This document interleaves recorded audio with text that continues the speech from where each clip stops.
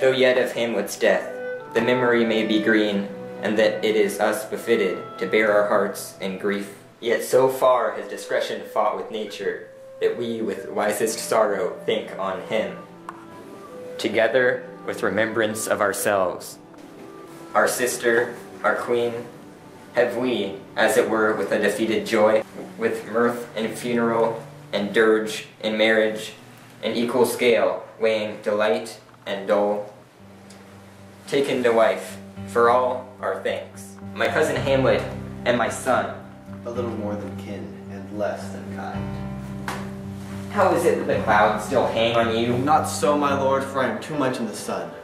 Good Hamlet, cast thy nighted color off, and let thine eye look like a friend on Denmark. Do not forever seek for thy noble father in the dust. All that lives must die. Aye, madam, it is common.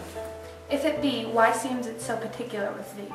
Seems, madam? Nay, it is. I know not seems. Tis not alone in my inky cloak, good mother, nor windy suspiration of forced breath, together with all the shapes of grief that can denote me truly. These indeed seem. For their actions man might play. But I have that within which passeth show, these but the trappings and the suits of woe.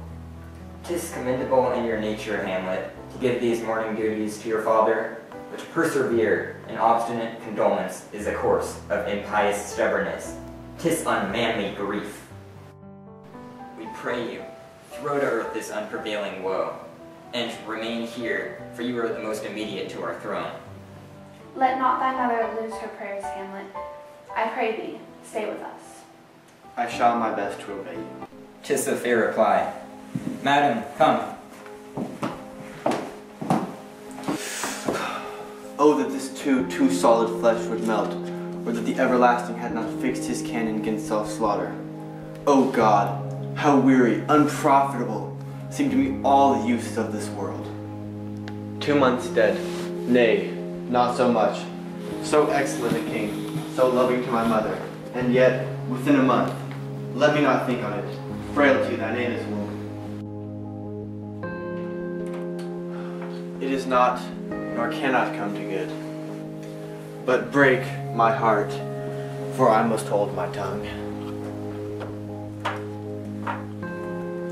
Hail to your lordship. I am glad to see you well, Horatio, or do I forget myself? The same, my lord.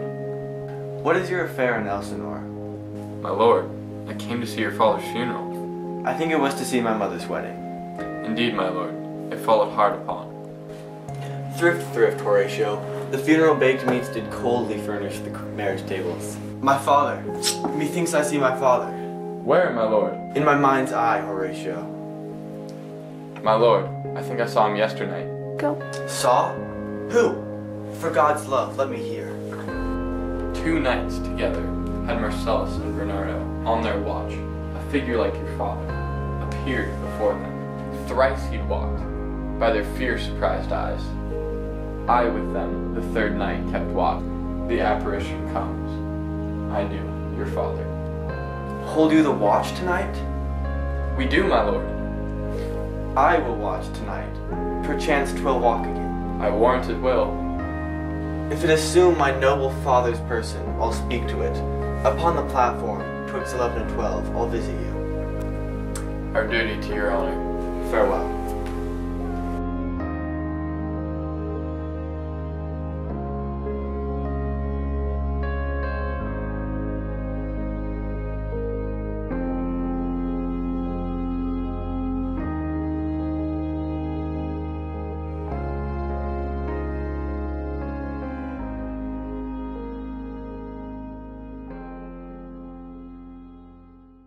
But I have that within, with patches.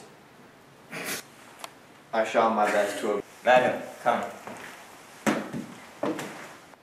I think it was to see my mother's funeral. Damn it, my mother's.